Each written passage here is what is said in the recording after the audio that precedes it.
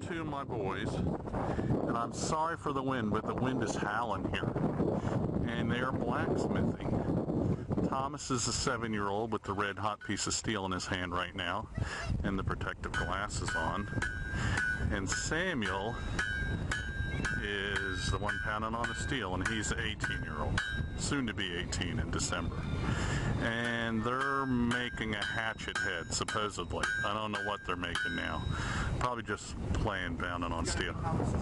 So you gotta turn that you gotta turn that fan off, guys. I still got a piece of metal. Oh, okay. Don't burn it up. So this is the coal uh, that we bought, burning there. Sam, you need to put water on it, a lot of water. That's why it's flaming up like that. This coal we bought that he's burning there. That's the forge we brought from the USA. And our anvil. And uh, box of tools there. Two bags of coal. And uh, there's our one of our leg vices. Stand back there, my little grime monkey. You need to get that little coffee can thing we had with the little grabber. Did that go? I don't know. It's right here. Thomas is also the director of music today. I believe the iPad is in his little pocket there. iPhone, yeah. Thomas is happiest when he's dirty. You see the the wind is really blowing here today. Anyways, found on some steel.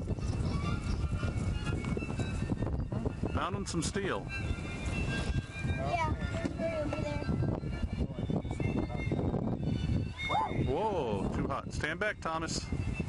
One short. I'll hold it. Yep. Okay, lay it down.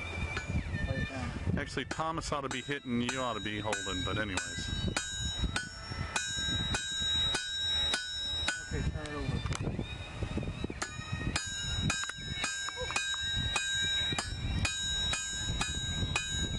Ah, it's there.